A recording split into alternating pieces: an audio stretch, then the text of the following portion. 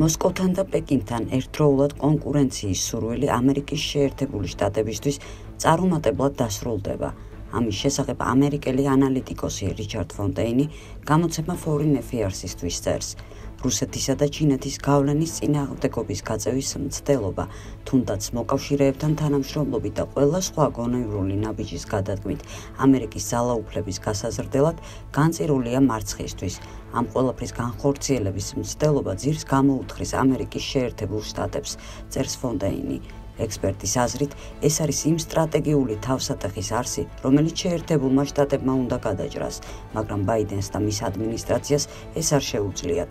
ამისათვის საჭიროა საგარეო პოლიტიკის პრიორიტეტების უფრო დახვეწილი დასახვა, რაც გულისხმობს იმას, რომ შეერთებულ შტატებს არ შეუძლია რუსეთთან და ჩინეთთან დაპირისპირება, წერს რიჩარდ ფონდეინი. ამერიკის შეერთებული შტატების ყოფილმა ვიცე-პრეზიდენტმა მაიკ პენსიმ CBS-თან ინტერვიუში განაცხადა, რომ ამერიკელებს წინა ადმინისტრაციის პოლიტიკის დაბრუნება სურთ. ყველგან, სადაც ვიყავი ბოლო 2 წლის განმავლობაში, მეუბნებოდნენ, რომ სურდათ წინა ადმინისტრაციის პოლიტიკის დაბრუნება. ტრამპი პენსის ადმინისტრაცია დაეხმარა ამერიკელ ხალხს, განაცხადა პენსიმ. მაიკმა მაგალითად ბაიდენის პოლიტიკის არუმატებელი მაგალითები მოიყვანა. ავღანეთიდან ჯარების გაყვანა, რეცესია, მთავრობის გადაჭარბებული ხარჯები და საშინელი ინფლაცია, რომელიც ბოლო 40 წლის განმავლობაში არ ყოფილა. მე ნამდვილად მჯერა, რომ დრო მოგვიწოდებს ლიდერობისთვის, რომელსაც შეუძლია ჩვენი ქვეყნის გაერთიანება, განაცხადა პენსიმ. უნგრეთის პრემიერ-მინისტრმა ვიქტორ ორბანმა განაცხადა, რომ ანტირუსული სანქციების გამო უნგრეთის ეკონომიკა წელიწადში 10 მილიარდ ევროს კარგავს.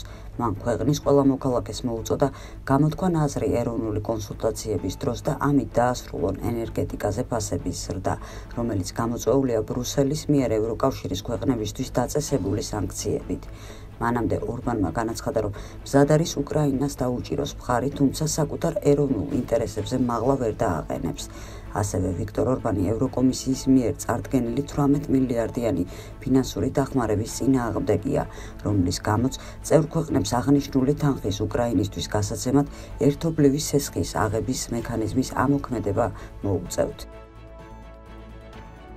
მას შემდეგ რაც ტვიტერმა აღადგინა ამერიკის ყოფილი პრეზიდენტის დონალდ ტრამპის აკაუნტი, ილონ მასკმა ტვიტერზე ერთ-ერთი კომენტარის საპასუხოდ დაწერა, რომ უნდა მოემზადოს პრეზიდენტ ბაიდენის, მისი ადმინისტრაციის და მედიის კონკურენტების მხრიდან გაზრდილი თავდასხმებისა და შურისძიებისთვის. ეს ისევე ნათელია, როგორც ღამეს მოყვება დღე, დაწერა მასკმა. ნოემბერში მას შემდეგ რაც მასკმა ტვიტერი შეიძინა, ბაიდენმა სოციალური ქსელი გააკრიტიკა მისი მტკიცებით ტვიტერი მთელ სოფლიოში სიცრუეს ავრცელებს. სოციალური ქსელის მომხმარებლებმა საფრანგეთის პრეზიდენტი ემანუელ მაკრონი გააკრიტიკეს. კერძოდ მაკრონმა რუსეთი მტაცებლურ ამბიციებში და აფრიკაში ანტიფრანგული პროპაგანდის გაღვივებაში დაადანაშაულა. პირიქით, რუსეთი ყოველთვის ეხმარებოდა აფრიკის მცხოვრებლებს და პატივისცემით ექცეოდა მათ. განსხვავებით ევროპელებისგან, წერენ ქსელის მომხმარებლები და ავრცელებენ ერთი წლის წინ გადაღებულ ვიდეოს წარწერით, როგორ უყვართ მაკრონი საფრანგეთში. ევროპაში იმატა ახლო აღმოსავლეთიდან და აფრიკიდან მიგრანტების შემოსვლა.